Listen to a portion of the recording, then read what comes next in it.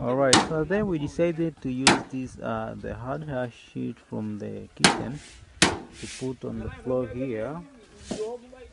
Yeah because otherwise we should buy a lot of wood and it will, it will take a lot of money. So we decided to take from the kitchen the small kitchen. Then after this uh, put in the floor here the hard concrete. We just remove them and and rebuilding the kitchen again so even there it needs this iron sheet to put on there so then after that the floor will be the second one so this is how it is. Mhm.